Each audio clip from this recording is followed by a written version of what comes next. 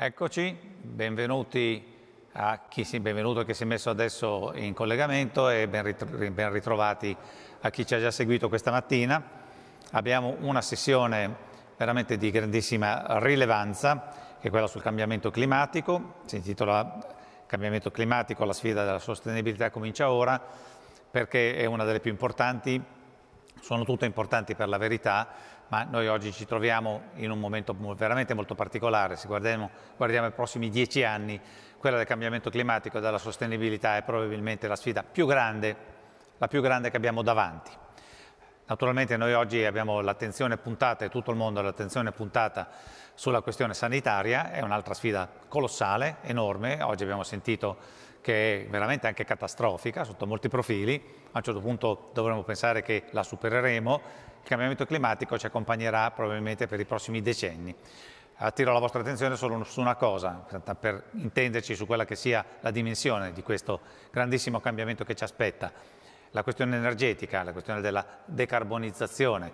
Abbiamo trascorso gli ultimi 250 anni all'interno di un regime basato sui combustibili fossili, il mondo, la civiltà contemporanea è basata sui combustibili fossili molto semplicemente non ce lo possiamo più permettere, dobbiamo fare una transizione energetica che vada oltre i combustibili fossili verso la sostenibilità garantita dalle energie rinnovabili e questo lo dobbiamo fare in una grandissima velocità in 10 anni, in 15 anni, in 20 anni, quindi dobbiamo smontare un'intera economia, un intero mondo basato sui combustibili fossili e per andare verso un'altra forma di civiltà. Allora solo questo ci fa capire come sia colossale il tema eh, del cambiamento climatico e non tocco tutti gli altri, sentiremo adesso nella sessione, ne verranno toccati molti, ma naturalmente le implicazioni sono eh, molto importanti per ciascuno di noi come individuo, per le aziende che devono fare tutta una serie di investimenti e cambiare il modo di produrre, per gli stati che devono mettere eh, finanziamenti, regole, norme e a livello mondiale perché tutto questo va realizzato a livello mondiale. Vediamo la sigla. Allora chiamiamo gli ospiti, la sigla l'abbiamo già vista, chiediamo, chiamiamo gli ospiti. Abbiamo con noi Donato Speroni. Buongiorno Donato Buongiorno. Speroni, segretario eh, del segretariato dell'ASVIS, che sarà il chairman di questa, di questa sessione. Abbiamo con noi Roberta Marracino, responsabile delle strategie di sostenibilità, diciamo ISG, di gruppo eh, di Unicredit e dell'impact banking di Unicredit. Buongiorno, Buongiorno. dottoressa Marracino. Abbiamo Federico Fraboni, Sustainability Manager di Calzedonia, del gruppo Calzedonia. Buongiorno, dottor Fraboni. Buon pomeriggio a tutti. Carlo Alberto Pratesi, professore ordinario di Marketing, Innovazione e Sostenibilità all'Università di Roma 3. Professor Pratesi, buongiorno. E Daniela Bernacchi, segretario generale di Global Compact Network Italy. In sostanza stiamo parlando dell'ONU. Buongiorno, dottoressa. Buongiorno. Benissimo, Buongiorno. passiamo immediatamente all'avvio della sessione e quindi do la parola a Donato Speroni. Prego. Grazie Enrico, eh, grazie per le tue parole e mi permetto di aggiungere solo una cosa, che, che questa è una sessione che organizziamo in collaborazione con l'ASVIS e con Futura Network. Suppongo che voi tutti conosciate che cos'è l'Alleanza Italiana per lo Sviluppo Sostenibile, quindi non mi soffermo a parlarne eh, richiamo eh, l'attenzione vostra anche sul sito Futura Network che è nato da pochi mesi proprio perché siamo convinti che in questo momento eh, sia necessario decidere, fare oggi le scelte che condizionano il nostro futuro. Scusate, io un ritorno, sento, sento un ritorno in cuffia, comunque, avanti. E, dunque, quindi a questo punto eh, Giustamente il, il tema è il climatico, la sfida della sostenibilità comincia ora, per gli argomenti che, che ha citato Sassoon. Però siamo nell'ambito del Festival del Futuro. Quindi siamo nell'ambito di uno sforzo che dobbiamo fare insieme per immaginarci eh, un futuro di medio-lungo termine. Cioè non è solo un problema che sicuramente è impressionante di eh, mettere giù rinno- eh, più rinnovabili, eh, di risparmiare energia, eccetera, eccetera, però anche di tenere conto di tutte le implicazioni che questo ha sul piano della sostenibilità, perché eh, il cambiamento climatico si lega poi a tanti problemi di sostenibilità sociale. Se non li affrontiamo avremo magari eh, migrazioni di massa, eh, abbiamo visto il problema dei giregialli nel momento in cui appena in Francia si sono eh, azzardati a aumentare il, il gasolio. Qui la sostenibilità è al tempo stesso sempre ambientale, eh, sociale economica e anche istituzionale, perché poi tutto questo si lega al, al discorso dei diritti e così via. Bene, noi allora in, questo, in questa tavola rotonda eh, abbiamo concordato di fare due giri di tavola. Nel primo giro di tavola faremo, cercheremo di portare la visione di mondi diversi, cioè chiedo a ciascuno dei partecipanti eh, di dire nel momento in cui ci rendiamo conto che il mondo sta cambiando e che deve cambiare così rapidamente per raggiungere gli obiettivi di decarbonizzazione che eh, l'Europa si è posta, ma che in fondo sentiamo tutti che saranno necessari e che forse l'opinione pubblica mondiale stessa ci, ci imporrà. Le, le imprese, la finanza, eh, il mondo della cultura, cioè come si preparano, come si immaginano, quali scenari futuri eh, immaginano che eh, possano servire come cornice per affrontare queste cose. E questo sarà un po' il primo giro in cui vi chiedo un po' di andare diciamo, a ruota libera per esprimere la visione del, del mondo che voi rappresentate. Nel secondo giro eh, invece eh, vi chiederò di, di, di fare uno zoom più specifico sulle vostre esperienze, su quello che eh, la vostra azienda, il vostro gruppo finanziario o, o l'insieme che rappresentate sta facendo in questo momento, cioè se effettivamente stabilita quella che è la visione, ci stiamo muovendo, ci stiamo muovendo abbastanza e, e quindi eh, eh, siamo sul sentiero dello sviluppo sostenibile, effettivamente o appena lo stiamo abbozzando in questo momento.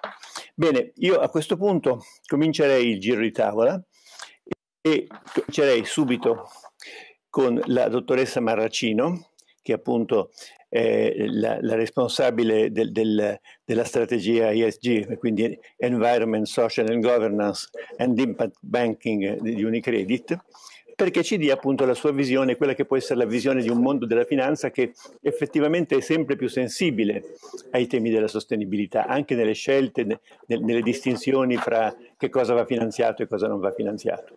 Prego, dottoressa. Grazie, grazie, buongiorno a tutti. È un piacere di essere qui, diciamo, oggi con voi a condividere dei pensieri che penso siano i pensieri di tanti in questa fase.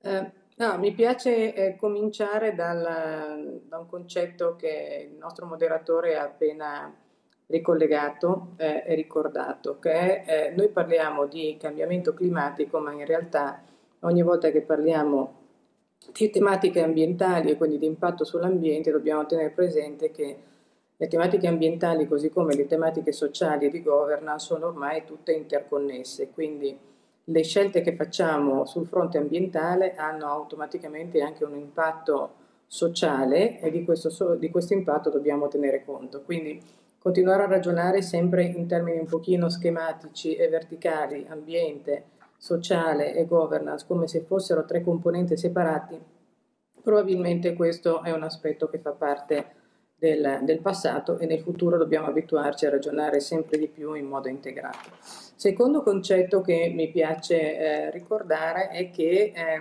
un po' sotto la forzatura di questa grande accelerazione di trasformazione che è anche guidata dalla situazione specifica che stiamo attraversando, quindi ehm, diciamo una discontinuità che viene creata da questa pandemia eh, e con gli impatti economici sociali collegati ci obbliga necessariamente a pensare secondo schemi mentali che sono un pochino diversi rispetto a quelli di prima. E mi riferisco oh, su questo diciamo un approccio nuovo mh, su cui tutti siamo chiamati a ragionare non solo come eh, settore finanziario, ma anche come diciamo, capi di impresa piuttosto che responsabili con, ehm, con no, diciamo, responsabilità di governo all'interno delle istituzioni, perché noi fino a questo momento abbiamo applicato un modello che è il modello che abbiamo spinto quasi forse fino all'eccesso negli ultimi eh, 20-30 anni, eh, accorgendoci probabilmente che eh, no, mostrava un pochino la corda già da qualche parte, ma senza avere la capacità di invertire la rotta. Ecco, adesso abbiamo la grande occasione, un po' per tutti, per ripensare anche i modelli imprenditoriali e i modelli di business di qualsiasi operatore economico. In un certo senso siamo obbligati o comunque ci sono dei fattori che sicuramente ci aiutano ad accelerare. E questi fattori, diciamo, nel, nel mondo oh, economico in generale, quindi anche nel mondo finanziario, sono di diversa natura. Proviamo a ricordarli un po'. Prima di tutto abbiamo questa crisi senza precedenti, come dicevamo, che ci obbliga a ripensare il modello di sviluppo complessivo. Abbiamo una crescente attenzione di, ehm, dei nostri regolatori dal punto di vista per esempio del sistema bancario e del sistema finanziario in generale a queste tematiche. Eh, si è cominciato a parlarne già qualche anno fa, però sicuramente in questo momento c'è una grande accelerazione in questo senso. Abbiamo una grande attenzione degli investitori su tutto il mondo delle grandi imprese e il sistema finanziario. Gli investitori stanno decidendo di allocare eh, i loro investimenti, quindi il denaro che in questo momento è abbondante ed è a disposizione, su alcune categorie di imprese e di banche e di eh, diciamo, istituzioni finanziarie in generale rispetto ad altre. Il che significa che sono, c'è anche una competizione, tra virgolette, per questo tipo di investimenti. E abbiamo una grandissima abbondanza di eh, diciamo, investimenti pubblici, eh, sia di carattere nazionale che di carattere sovranazionale, eh, pensiamo al Recovery Fund di cui si è parlato anche nella sessione precedente europeo, eh, il 40% di questi investimenti sono destinati a eh, progetti che hanno un impatto ambientale positivo, l'altro 60% sono tutti progetti sociale, che è un'opportunità per qualsiasi diciamo, operatore di impresa e anche per le banche ovviamente di innestarsi su un eh, potenziale eh, di cambiamento che in questo momento è anche molto aiutato dallo Stato. Le banche che cosa possono fare in questo scenario e come vediamo noi diciamo, l'evoluzione del mondo nei prossimi almeno 4-5 anni, ma anche su un orizzonte temporale decisamente più ampio. Noi abbiamo un doppio piano di azione, quello come corporate ovviamente cercando di eh, fare del nostro meglio per decarbonizzarci noi stessi, no? quindi cercare di raggiungere il 100% dell'energia rinnovabile nell'utilizzo di energia dei nostri building, eh, ovviamente prendendo tutte le iniziative che gran parte delle aziende che sono sensibili sotto il profilo della sostenibilità ovviamente fanno per quanto riguarda l'uso della plastica piuttosto che il riciclo e così via, ma abbiamo come gli investitori un ruolo ancora più importante che è quello di influencer dei comportamenti dei nostri clienti corporate e di accompagnamento verso un modello che è sicuramente un modello più sostenibile. Eh, faccio un esempio per, per, per, essere un pochino più chiaro. Eh, noi dovremo integrare sempre di più il rischio climatico, per esempio, nelle nostre matrici di rischio, nei nostri modelli di previsione del rischio e anche nella modalità con cui andiamo ad analizzare il nostro portafoglio di crediti, quindi il portafoglio di lending a seconda di quella che è l'industria diciamo, a cui ci esponiamo, i settori a cui ci esponiamo per capire in rapporto sostanzialmente a quello che è la situazione attuale, quanto siamo esposti su settori brown e quanto siamo più esposti invece su settori green. E nell'ottica di una transizione e quindi di un processo di avvicinamento a quelli che sono gli obiettivi di Parigi, a seconda di quelli che sono gli scenari, quindi un grado e mezzo, due gradi o due gradi e mezzo, dobbiamo costruire le nostre traiettorie per allineare questo portafoglio di crediti e per farlo dobbiamo ovviamente cercare di lavorare insieme ai nostri clienti per poterlo indirizzare. Quindi questa è una grandissima opportunità di lavoro insieme ai clienti, soprattutto corporate e imprese, perché non basta dire no, adottiamo una nuova policy, per esempio, che fa sì che usciamo dal settore del carbone, cosa che per esempio abbiamo fatto a luglio e tra l'altro ponendoci come Unicredit tra le migliori banche a livello europeo perché abbiamo deciso uscire da questo settore entro il 2028. Entro il 2028, quindi prima di tutte le altre banche che dichiarano e anche l'Unione Europea diciamo che ha, dato obiettivi sicuramente su tempi decisamente più lunghi. Però questo che cosa implica? che noi dobbiamo aiutare i nostri clienti a fare questa transizione e quindi possiamo abbiamo la grande opportunità di aiutarli nel trasformare il loro modello di business, facendo leva anche su quelle che sono le eh, leve eh, diciamo, di investimento pubblico di cui abbiamo parlato prima. È una grandissima occasione. Grazie Roberta. Perché, Io chiederei di andare alla conclusione per poi riprendere eh, questi spunti anche nel, nell'intervento successivo. Benissimo, Posso? quindi io quello che volevo semplicemente sottolineare, scusa, due cose che sono uno, grande discontinuità, grande discontinuità per tutti, imparare a ragionare secondo paradigmi diversi, questo lo facciamo anche noi, non è un percorso semplice, è un percorso ovviamente che richiederà un po' di tempo e orizzonti temporali che vanno sicuramente oltre i 3-5 anni, ma dobbiamo cominciare a pensarci adesso. La seconda cosa è che dobbiamo imparare a ragionare in un'ottica che tutte le decisioni che prendiamo hanno un impatto non solo economico, ma anche quelli che sono gli impatti relativi correlati, quindi con, sul, sul, fattore eh, diciamo, ambiente e sul fattore sociale, quindi anche nelle nostre metriche di valutazione delle decisioni, questi fattori ormai devono trovare posto e stanno trovando posto. Grazie, certamente questi sono i punti importanti, ma quello che viene fuori dal tuo discorso è che il mondo della finanza si sta muovendo. E possiamo dire lo stesso del mondo dell'economia reale, cioè prendiamo l'esempio di un'impresa che fa beni di consumo come Calcedonia. Abbiamo qui con noi eh, Federico Fraboni, eh, che appunto è il, il sustainability, manager eh, del, del gruppo e Federico, dacci tu una risposta. Non ti sento? Non sento?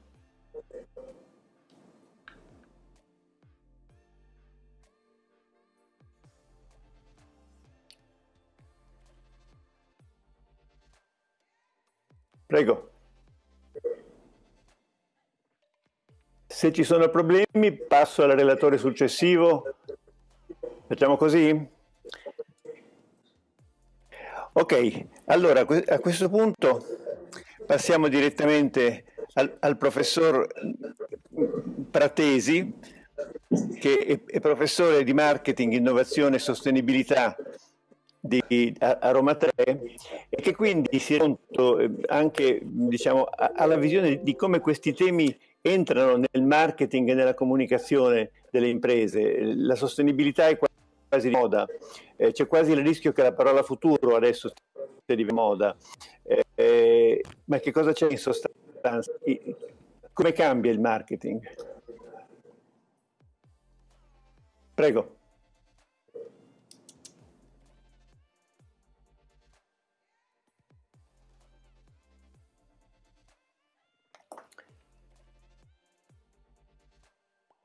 Voi sentite? No. C'è qualcosa in regia che non va.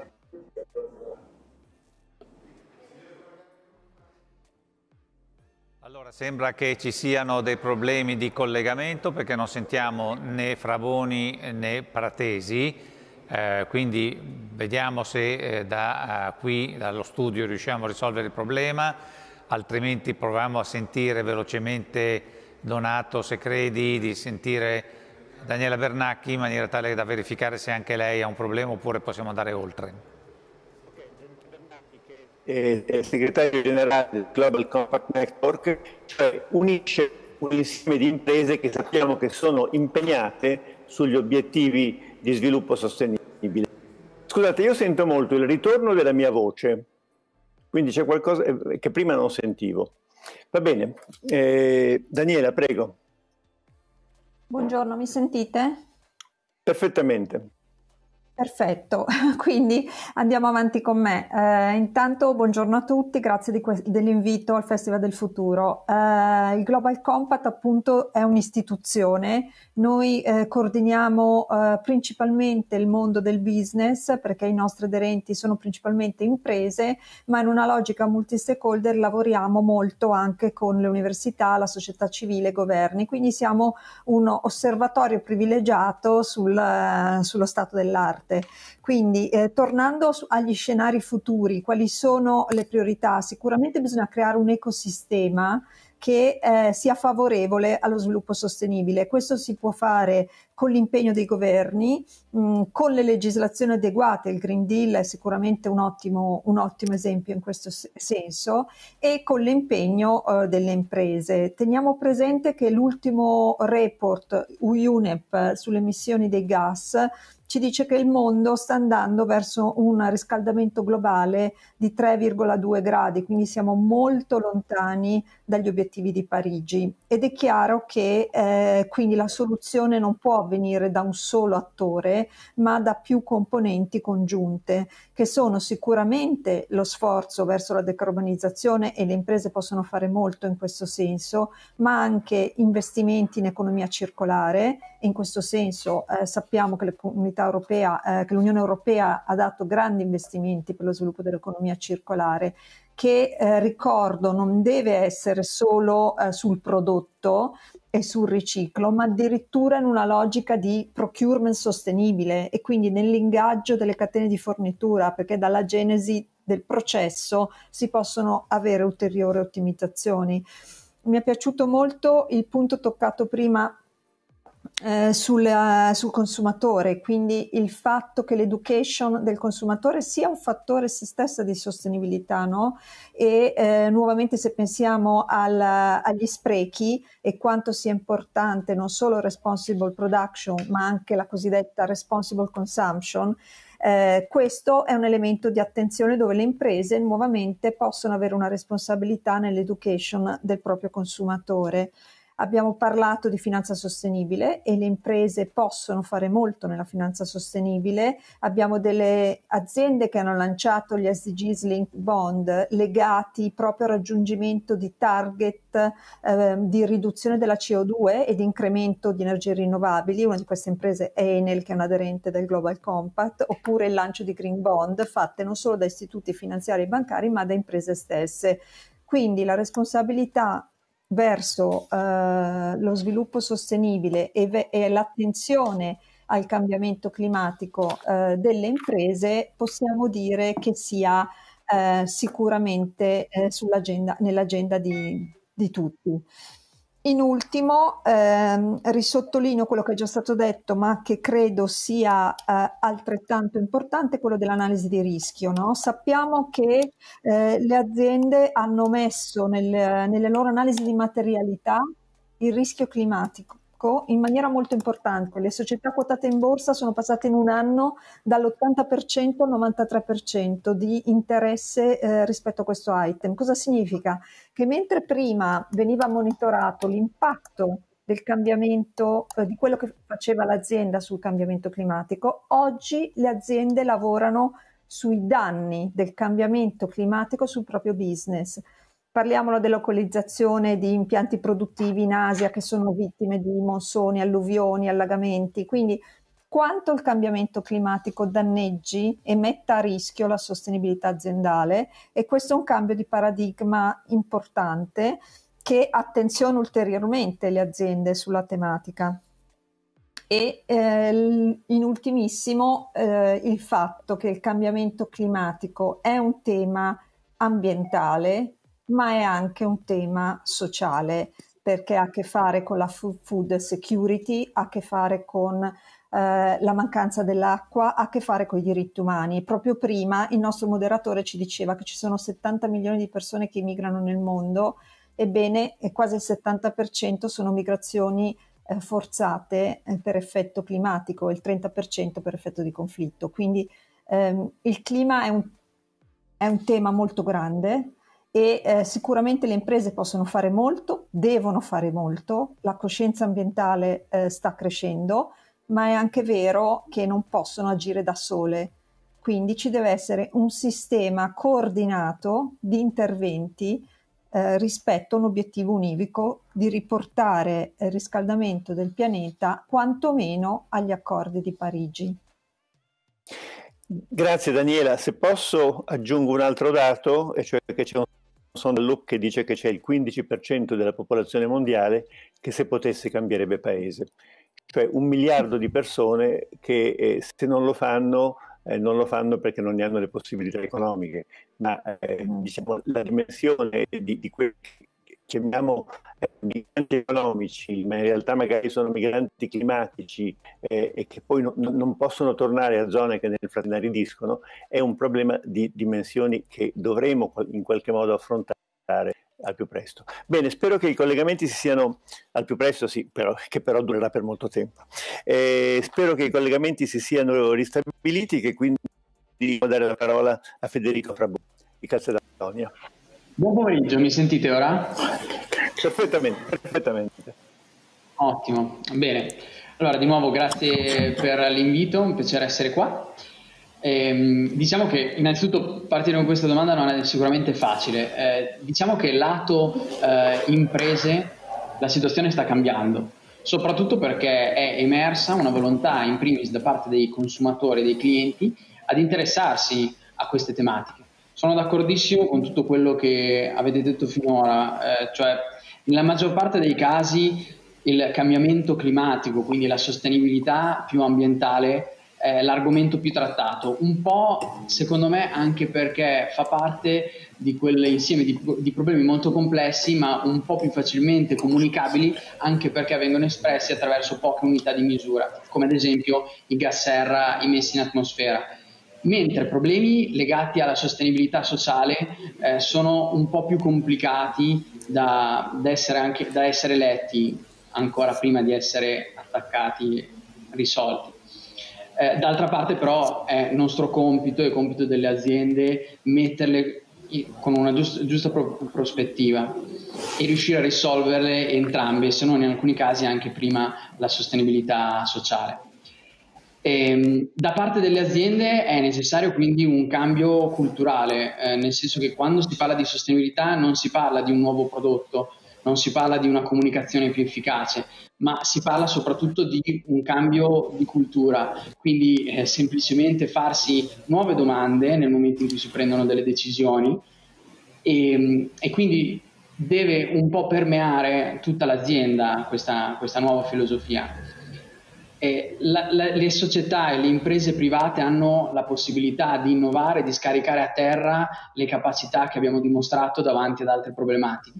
Il problema, uno dei problemi maggiori però è che non godiamo di una unica regia, regia internazionale che possa stabilire delle regole uniche per tutte le imprese e quindi eh, dato che al momento la maggior parte delle scelte che renderebbero un'impresa più sostenibile non è anche eh, la scelta che la rende economicamente, eh, più, sostenib- più, economicamente più sostenibile appunto, eh, è qua che abbiamo la necessità del supporto degli istituti finanziari, del governo per riuscire a, a giocare in un ambiente competitivo come eh, è il mercato attualmente, a darmi pare con chi effettivamente non vuole puntare anche sulla sostenibilità nella propria strategia di business. Quindi questo qui probabilmente è uno degli aspetti più complicati e che una volta risolto può accelerare il processo di sostenibilità, cioè nel momento in cui l'azienda può fare la scelta più virtuosa dal punto di vista sostenibile ed è anche quella più economica, allora davvero potremmo accelerare questo percorso. Eh, d'altra parte però si è visto che moltissime imprese hanno iniziato non solo ad attivare eh, processi di sostenibilità, ma anche a rendicontarli, perché eh, la misurazione di queste attività e la misurazione degli effetti è fondamentale no, nel miglioramento continuo. E quindi adesso si vedono tanti più report di sostenibilità, bilanci di sostenibilità, ancora ci sono degli scogli molto importanti perché è abbastanza complicato riuscire a confrontare due imprese che hanno due strutture, due supply chain differenti attraverso il loro bilancio di sostenibilità. Quindi ehm, questo assieme a delle linee guida eh, accurate sono secondo me diciamo, il metodo più efficace per andare nella direzione della sostenibilità, sia sociale che ambientale. Grazie, Grazie mille. Eh, c'è un ritorno. Eh, certamente, no, certamente l'impresa può andare avanguardia e rimanere sola, cioè eh, spingersi così avanti eh, sul terreno della sostenibilità eh, da diventare non concorrenziale rispetto alle altre. Quindi è chiaro che in qualche modo devono procedere tutte, però ci possono essere vantaggi a lungo termine eh, nell'investire sulla sostenibilità, eh, però poi c'è un problema immediato perché bisogna sostenerlo con investimenti e, e, e dall'altro anche con i consumatori che devono capire che questa azienda è un'azienda che guarda a tutti gli shareholders, quindi agli interessi anche dei consumatori, delle comunità locali, eccetera, e non soltanto agli interessi, al, profitto degli azionisti, è fondamentale, secondo me, in, in, in questo cambiamento. Professore, allora, eh, scusate, ma io con i nomi ho sempre difficoltà. Professor Pratesi, Carlo Alberto Pratesi, professor, eh, No, aspettate, eh, a questo punto... Eh, sì, manca il professor Pratesi, mi sembra, sì. no? Scusate, ma abbiamo confuso. Corretto. ok, allora. Datemi un segnale che non so se mi state sentendo, immagino di sì, spero. Per, sì, perfettamente, okay, perfettamente. No, aggiungo che allora, il professor Pratesi, eh, che è appunto professore di marketing, innovazione e sostenibilità a Roma 3, un bel campo Perfetto. di... Esatto, di, esatto, grazie. Sì, allora eh, approfitterò dei miei quattro minuti per dirvi un po' la mia sensazione. Sette, sette, sette nel, nel, primo sette, giro ah. può averne sette. Ah, sette, ok, meglio. Eh, dicevo, per darvi un po' la mia eh, panoramica di come vedo il tema. Naturalmente dire che oggi la situazione è drammatica, che dobbiamo fare qualcosa e che la sostenibilità è l'unica strada mi sembra oramai una, ovvietà e sul quale non solo le aziende, ma abbiamo visto anche le banche, le istituzioni sono tutte assolutamente d'accordo, i consumatori, i distributori. Quindi c'è una grandissima sinfonia di attori che dicono bisogna fare qualcosa al mondo se no finisce. Perfetto. A questo punto però bisogna capire perché si è creato questo problema e soprattutto come intervenire. Allora, un elemento che forse da, vorrei dare per far capire che questa è una crisi un po' diversa eh, rispetto alle altre alle altre crisi che abbiamo avuto è che in questo momento l'evoluzione, o meglio quello che sta succedendo sul mercato, la velocità in cui il cambiamento sta imponendo è superiore alla velocità che la specie umana ha avuto di adattarsi nel tempo. Cioè, noi di crisi ne abbiamo viste veramente tante, noi non intendo come generazione, ma diciamo come, come specie animale, e ce, ce, la siamo sempre cavata abbastanza bene perché abbiamo uno spirito e una capacità di, adatta, di adattamento molto forte. In questo caso la velocità di quello che succede di anno in anno, addirittura di mese in mese, è talmente rapida che eh, aziende, consumatori, istituzioni francamente non riescono a stare al passo, anche perché eh, a, a diciamo, modificare i processi, modificare i modelli, modificare i prodotti, i servizi, chiaramente richiede tempo, richiede tempo come richiede tempo modificare le abitudini. Quindi questo sfasamento è un po' la fonte dei nostri guai in questo momento. Allora, come bisogna reagire? Beh, innanzitutto il vero problema è anticipare le possibili e future evoluzioni. Cioè non possiamo limitarci a osservare i trend, non possiamo limitarci a osservare quello che succede giorno per giorno, dobbiamo iniziare a prevedere il futuro o immaginare quali saranno i possibili futuri che sono davanti a noi. Questo purtroppo ci obbliga a dover cogliere dei segnali, dei segnali deboli, perché eh, come ci hanno insegnato, i cigni neri difficilmente vengono in qualche modo previsti da dei trend, dagli scenari o dalle ricerche di mercato.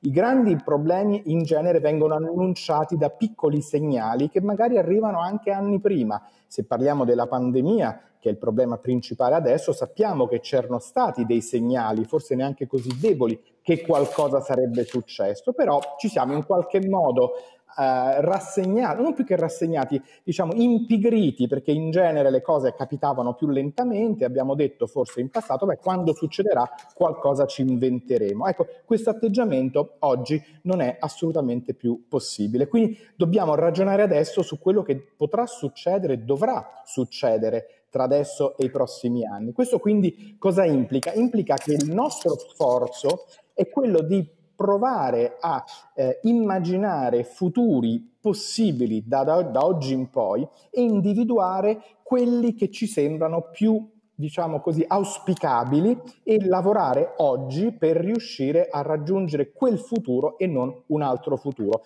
Il, la sensazione che fino ad oggi abbiamo avuto che ci fosse quasi una linea temporale retta tra il passato, il presente e il futuro è una sensazione sbagliata. Noi abbiamo il passato che è sicuramente una linea retta fino al presente, ma dal presente in poi si dipanano tantissime possibili strade e ognuna di queste dipenderà ovviamente da quello che facciamo oggi, quindi in qualche modo ci viene richiesto di avere un atteggiamento un pochino proattivo, non cogliere soltanto i segnali e agire per quello che succede oggi, ma provare ad agire per quello che potrebbe succedere domani o per quello che noi vorremmo succedesse domani. Quindi abbiamo due in pratica eh, diciamo, suggerimenti che vorrei dare. Il primo è di iniziare appunto a lavorare sui segnali e prospettare i possibili scenari e scegliere quello in cui ci piacerebbe vivere in futuro. E secondo, prendere delle scelte sulla base di tanti modi di essere sostenibile. Ecco, un tema che vorrei assolutamente sottolineare è che parlare di sostenibilità come una strada giusta che si contrappone a una strada sbagliata della non sostenibilità è una grande ingenuità ed è una, diciamo così, una visione molto semplicistica del problema. In realtà esistono tanti modi di intendere la sostenibilità e dovremmo scegliere quello che c'è più congeniale anche perché esistono delle, dei trade-off o delle alternative che non sono tra di loro conciliabili. Vi voglio solo fare un esempio di cinque possibili eh, scenari di sostenibilità. C'è uno scenario, per esempio, che oggi va molto di moda, lo definirei uno scenario un po' autarchico. Ognuno per sé, Dio per tutti. Compriamo i prodotti locali, chilometro zero, cerchiamo di difendere i nostri confini e di vedere la sostenibilità come una sorta di fortezza all'interno della quale noi dobbiamo difenderci. Non voglio dire che sia giusto o sbagliata, ma sicuramente è un tipo di approccio che è diverso rispetto a uno scenario più aperto, più collaborativo, più che vede la collaborazione anche tra popolazioni, culture, anche specie diverse come unica soluzione verso la sostenibilità. Il fatto di non vedere l'uomo diverso da tutte le altre specie animali e di vedere come il problema sia un problema comune che possa essere risolto soltanto da una, eh, diciamo, da una collaborazione è un modo molto diverso rispetto al precedente di interpretare la sostenibilità. Poi abbiamo uno scenario che è molto incentrato sull'innovazione e sulla tecnologia.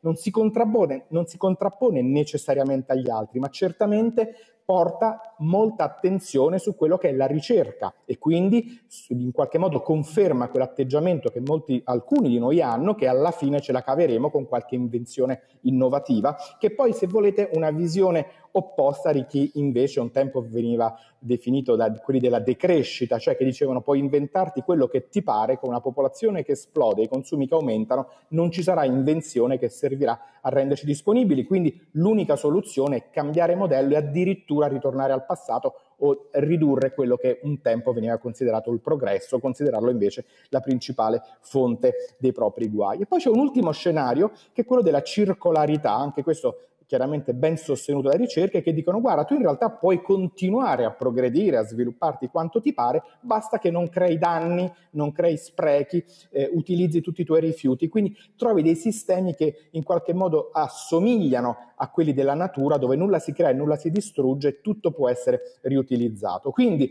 autarchia, collaborazione, eh, circolarità, innovazione e decrescita sono, se volete, tre modi per interpretare la, la, la sostenibilità. Non sono sempre conciliabili l'uno con gli altri e io credo che sia giunto il momento che istituzioni, aziende e se vogliamo anche singoli consumatori inizino a pensare quali sono i propri valori, come noi vogliamo interpretare, perché a un certo punto ci viene chiesto di scegliere e se non scegliamo in tempo e quindi se non prevediamo in tempo e decidiamo la strada che vogliamo percorrere, rimarremo costantemente sempre più oggetto dell'imprevisto e delle crisi che purtroppo saranno sempre più rapide e sempre più vicine e noi non potremo reagire, ma, non potremo diciamo, prevenirle, ma semplicemente reagire a valle e come vediamo è molto costoso e spesso neanche troppo efficace.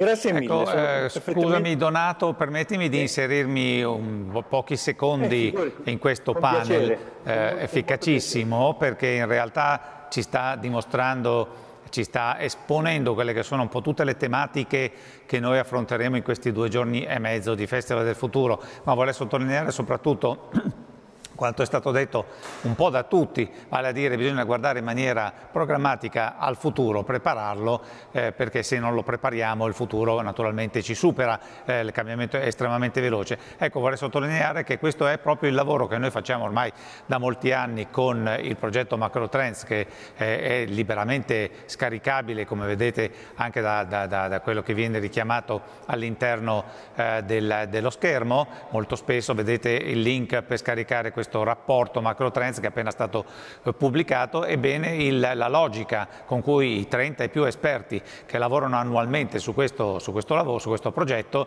su questa pubblicazione è esattamente questa, quella di guardare i segnali deboli, quella di cercare di capire dove, dove, andiamo e in che modo proporre le soluzioni per arrivarci. Ecco, scusatemi per, l'inserimento, andate pure avanti no, con la tavola rotonda. Grazie, grazie. Ti aggiungo che questa è anche la finalità del al quale l'assieme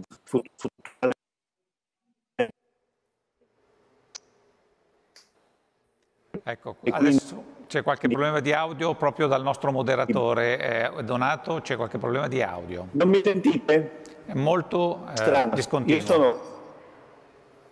Aspetta, io sono informale, non ho cambiato niente. Adesso okay. mi sentite? Sì, sì, adesso ti sentiamo. No, dicevo che mh, Parallelamente anche a questo progetto importante al quale lavori da tempo c'è il sito lavori, eh, che abbiamo creato insieme, anche con te Enrico, che proprio si chiama Futura perché, abbiamo, perché gli scenari sono diversi e dobbiamo valutare, come diceva appunto Pratesi, e dobbiamo valutare qual è, qual è il migliore. Però mh, riflettiamo su una cosa, io nell'ultimo editoriale che ho scritto per l'ASVIS ho parlato di eh, grande pandemia economico-sociale che non è un cigno nero, perché mm, questa pandemia è stata un cigno nero, non ce l'aspettavamo, ma quelle che sono le conseguenze del cambiamento climatico, sia sul piano, eh, sul piano ambientale, sia sul, sul piano sociale, eh, sono già scritte, cioè, lo sappiamo abbastanza bene.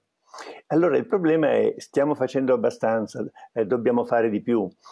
E quindi in questo secondo giro eh, io chiederei a ciascuno di voi eh, un po' di raccontare le, le buone pratiche del, del mondo mh, e, e, proprio anche eh, dell'azienda, del, del, soggetto in cui è impegnato.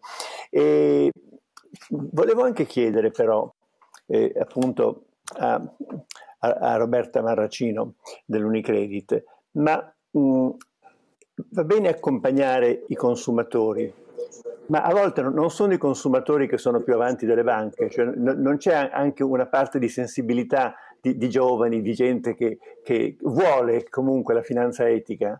Cioè, com- com'è il rapporto tra l'istituzione e, e il consumatore? Prego. rispondo subito e molto volentieri a questa domanda. Allora, noi dobbiamo distinguere tra clienti retail e clienti corporate. Sui clienti retail questa sensibilità c'è e soprattutto sulle giovani generazioni è molto molto più marcata. Eh, però devo dire che non sempre associano alla disponibilità ad acquistare dei prodotti anche finanziari più etici, eh, diciamo, la possibilità di sacrificare una parte diciamo, del rendimento per una finalità che è buona.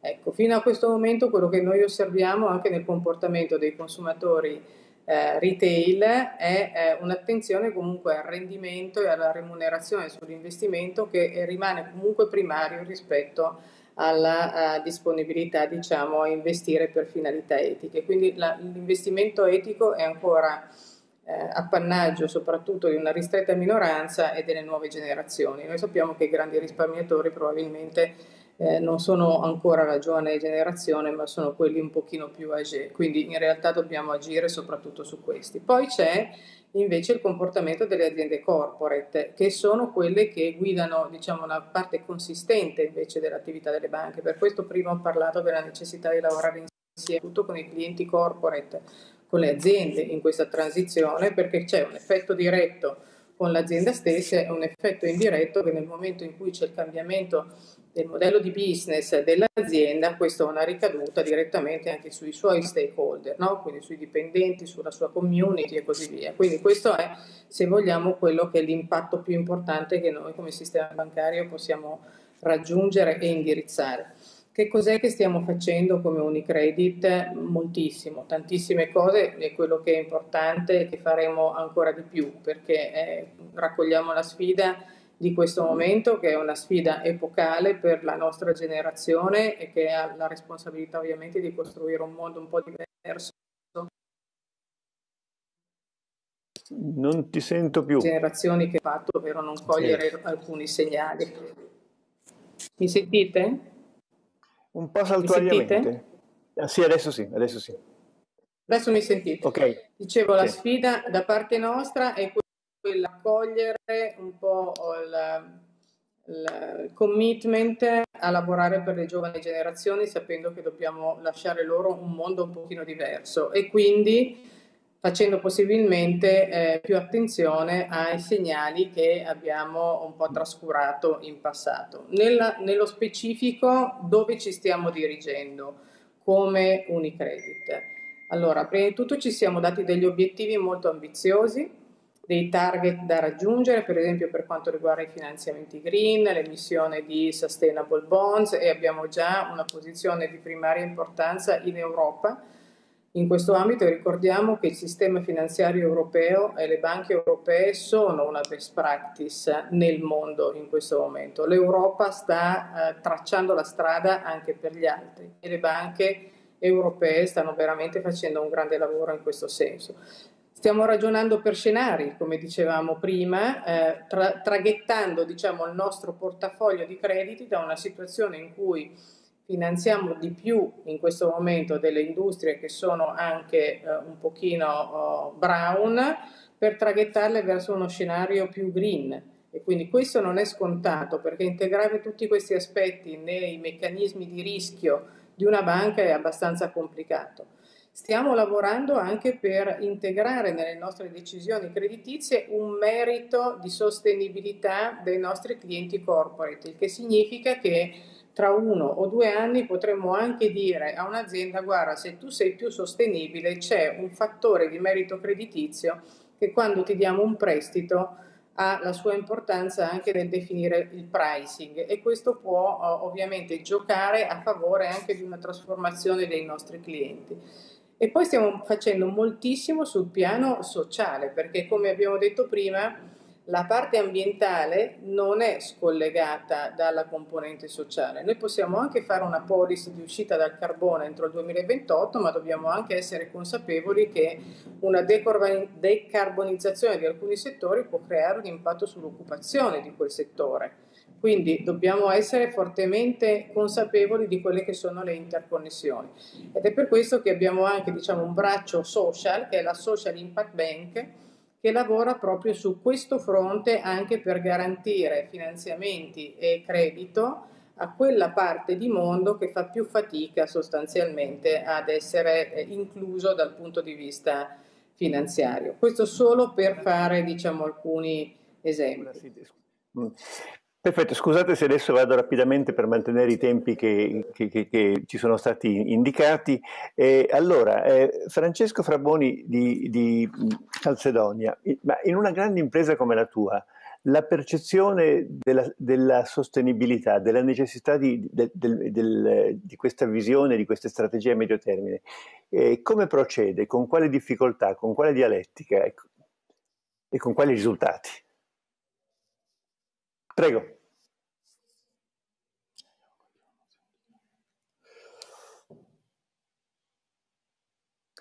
Torniamo ad avere difficoltà di audio?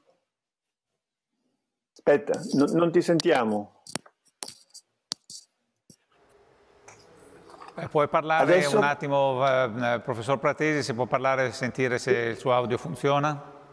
Allora, mio, io sto parlando adesso. Sì, allora l'audio di Pratesi funziona, quindi si può Donato alternare. Beh, beh allora intanto faccio una domanda a Pratesi, proprio che, eh, nel senso che è vero, c'è una maggiore percezione della necessità, uso ritorno io adesso, una maggiore percezione del, della necessità eh, de, del, del, della sostenibilità, ma come si fa a far capire ai consumatori che non basta, dico una banalità, eh, chiudere l'acqua quando ci si lava i denti, ma, ma, ma, che i cambiamenti che sono necessari per arrivare eh, per, per arrivare a, a raggiungere gli obiettivi di sostenibilità necessari sono ben più profondi e senza credere, senza, senza parlare di decrescita felice, ma, eh, perché non sarebbe comunque felice, ma saranno molto più pesanti anche le strategie politiche e, e, e come cambiamenti di comportamento delle persone, almeno secondo la mia convinzione.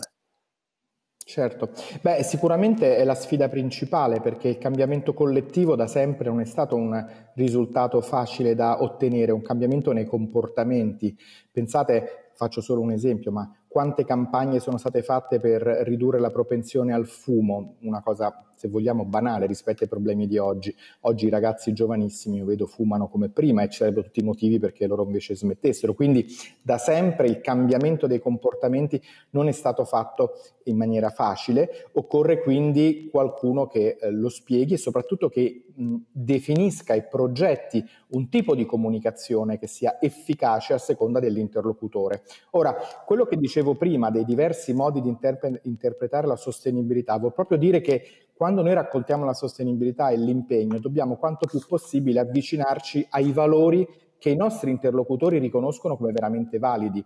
Se c'è oggi, eh, e fa, banalizzo sempre molto, questo grande eh, interesse alla difesa dell'identità locale e al, dire, al, chilometro zero per intenderci, non sarà difficile portare i nostri consumatori in quella direzione. Se invece c'è un interesse maggiore su altri ambiti, per esempio quello della biodiversità, che oggi sta molto prendendo piede per fortuna, bene, allora lì i messaggi potrebbero agganciarsi. Quindi il tema, in sintesi, non è tanto quello di spiegare o dare istruzioni che poi fatalmente le persone hanno fatica ad applicare, ma provare a dimostrare che quello di cui stiamo parlando è vicino all'interesse e ai valori delle persone. Insomma, ricordiamoci, in passato ci sono dei giovani che sono andati spensieratamente in guerra perché pensavano che fosse la cosa giusta da fare, c'erano dei valori che in qualche modo giustificavano un sacrificio assolutamente inspiegabile da altri punti di vista. Oggi noi stiamo chiedendo uno sforzo di lavarci le mani e di chiudere la luce o di, o di mangiare magari meno carne. Beh, insomma, diciamo siamo a dei livelli inferiori. Se non siamo riusciti ad ottenere il risultato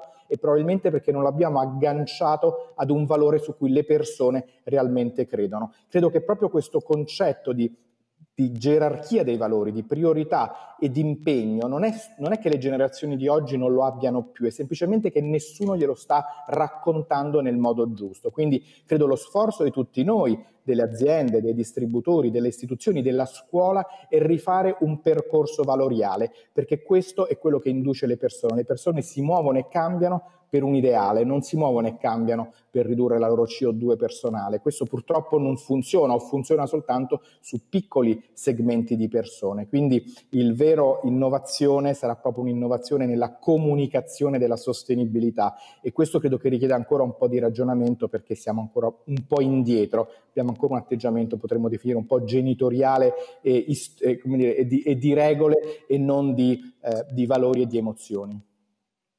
Beh, è un bellissimo tema che poi a me come giornalista ovviamente mi, mi, mi interessa moltissimo. Eh, sì, eh, però la comunicazione, hai ragione, ma poi è anche legata alla comunicazione politica, cioè al modo in cui i politici vogliono comunicare. Quindi l'intreccio è, è, molto difficile da sciogliere, insomma, il, il nodo. Eh, bene, eh, volevo chiedere a, a Daniela Bernacchi, eh, aspettando poi il collegamento con, eh, con Federico Fraboni, eh, il, il mondo che tu hai sotto gli occhi si, mm, si sta effettivamente muovendo, cioè le buone pratiche, tu le vedi? Eh, noi abbiamo uno scenario di riferimento in cui l'Italia nell'ultimo report SDSN Network aveva perso una posizione, cioè da 29esima su 166 paesi era scesa a mh, mm, trentesima, con ehm, diciamo segnalazione rossa, allarme rosso su tre SDGs, esattamente il climate action, il 14 Life Below Water, che sempre ha chiaramente un impatto climatico, ecco. e il 9 Industry Innovation Infrastructure. Quindi dal nostro punto di vista c'è un percorso da fare. Dall'altro, noi come Global Compact abbiamo un report che riguarda solamente le aziende aderenti, dove si vede che le aziende italiane aderenti al Global Compact hanno un commitment più alto rispetto alla riduzione dell'impatto ambientale rispetto alla media delle aziende europee, quindi c'è una buona sensibilizzazione. Sappiamo che nel settore energetico, che il settore energetico cuba il 60% dell'impatto ambientale, quindi una buona dose, e l'altro 25% di grande impatto sui gas clima alteranti è dovuto dall'agribusiness e l'agrifood.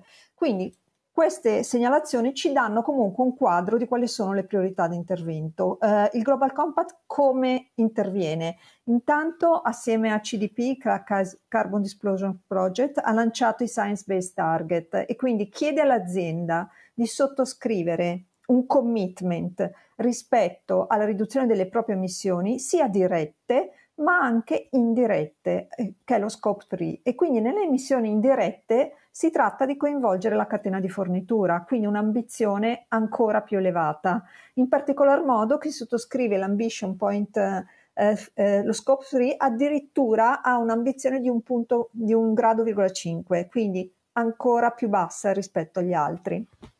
E, eh, Scusa, ambizione... Sforzo ambizione di, di, di, agire per mantenere l'aumento di temperatura entro un grado virgola 5, che è difficilissimo. Esattamente, esattamente. è difficilissimo.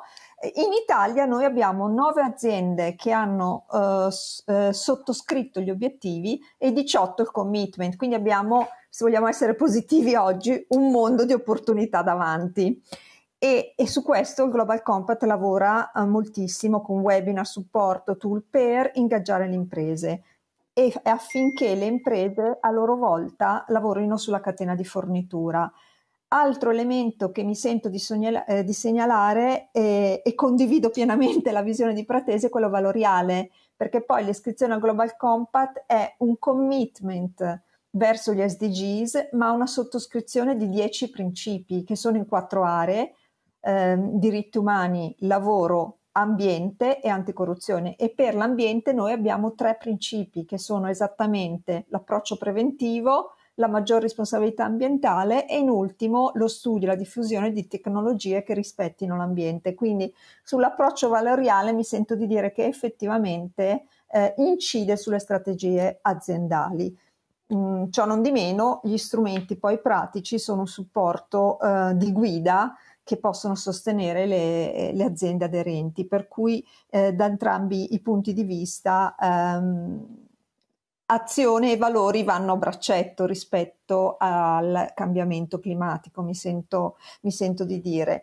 Eh, si parla tanto di just transition, quindi di una transizione che sia giusta e che nuovamente ci riporta a dire che il modello economico precedente non andava bene perché non dava un futuro alle generazioni future e che l'intervento eh, deve tener conto dell'impatto di lungo periodo. Quindi per questo motivo il Global Compact ha anche delle iniziative di coinvolgimento dei giovani. Quindi c'è questo programma Young Innovators Program dove eh, giovani imprenditori o comunque i futuri manager vengono coinvolti su queste tematiche proprio perché hanno uno spunto anche di innovazione da portare a noi, che magari siamo nella generazione precedente, e quindi il loro coinvolgimento è senz'altro un valore, un valore aggiunto importante. Mm, queste sono diciamo, le aree di intervento principali, poi se vogliamo approfondire le attività del Global no, Compact no, sempre disponibili. Vabbè, ah certo, avete poi tutte le possibilità con i siti e con, le vostre informazioni. No, no, va benissimo. Eh, riusciamo allora a collegarci con, con, eh, eh con, con eh, Federico Fraboni? Pronto, mi sentite adesso? Perfettamente, perfettamente. Ok, fantastico.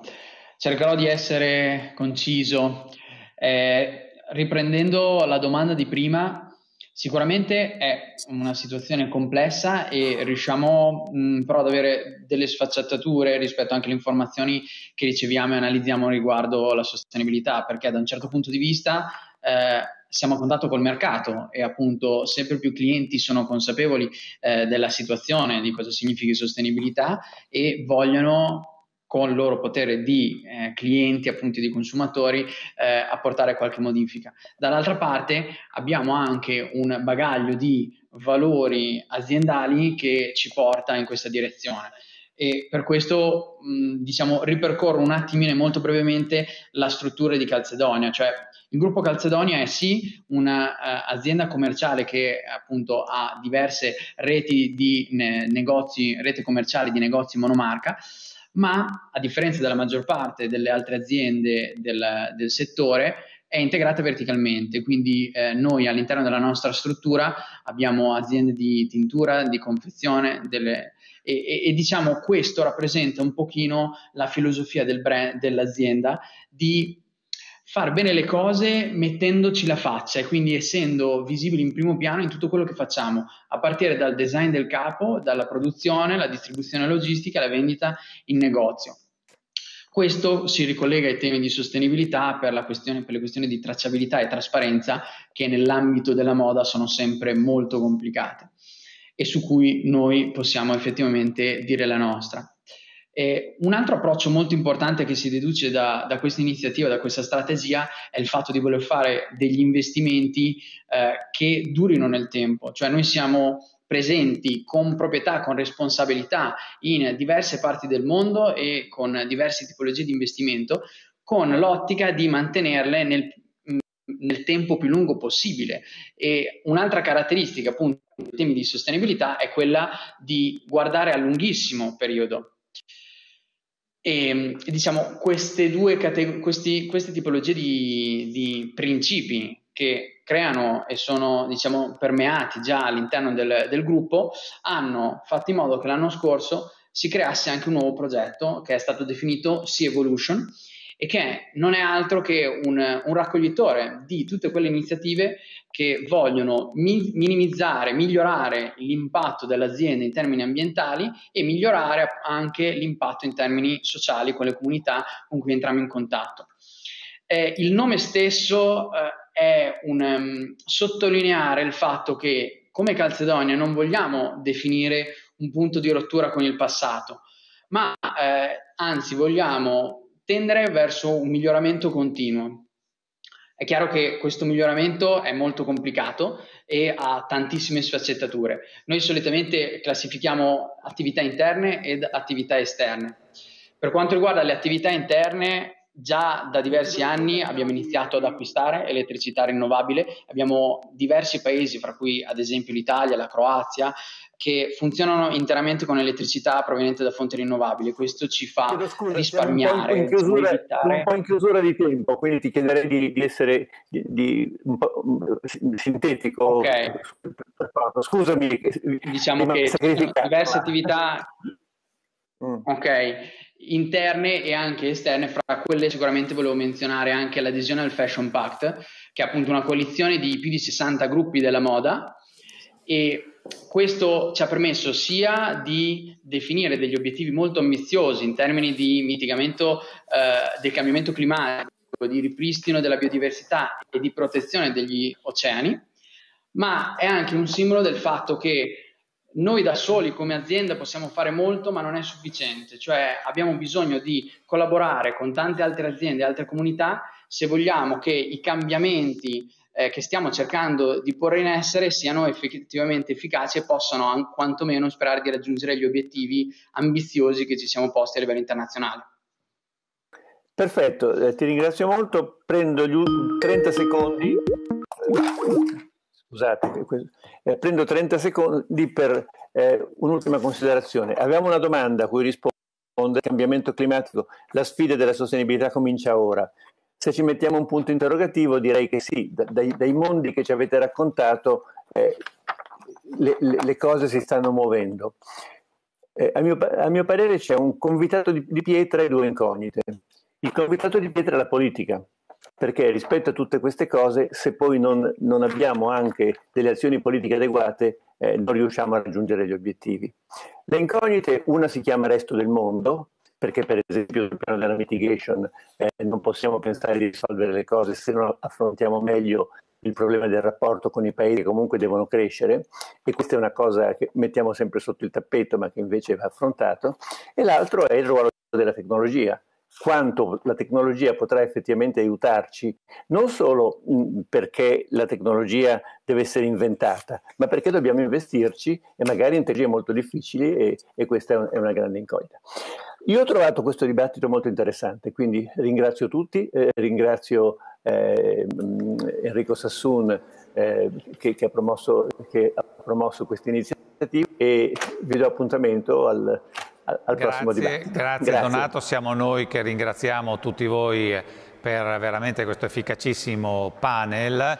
Uh, anch'io vorrei fare un'ultima considerazione rispetto alle cose che sono emerse e che sono molto importanti, vale a dire per chi come me, anche come te e alcuni altri eh, si occupa di queste questioni, di questioni di sostenibilità ormai da parecchi decenni, c'è una differenza fondamentale che è data dal fatto che 30 o 40 anni fa c'era un mondo ambientalista che era assolutamente in contrasto col mondo delle imprese e un mondo internazionale della politica e delle grandi istituzioni che si occupava poco di, que di queste questioni di sostenibilità e soprattutto niente di potenziale cambiamento climatico. Bene, quello che noi abbiamo verificato oggi, ma ormai lo verifichiamo co costantemente, è che c'è oggi un grandissimo allineamento sull'urgenza della situazione, ma soprattutto sulla realtà concreta di questa situazione e la necessità di fare tante cose. Quindi le persone, ognuno di noi, ma soprattutto le aziende che fanno materialmente, che devono fare, le banche, le istituzioni finanziarie, il mondo della politica, anche se naturalmente andrebbe sollecitato di più e soprattutto forse le dobbiamo citare le istituzioni sovranazionali che devono infondere maggiore energia a tutto questo. Quindi grazie, grazie per il vostro eh, intervento e vi diamo, eh, diamo appuntamento ai nostri ascoltatori alle 15.45 per il prossimo panel.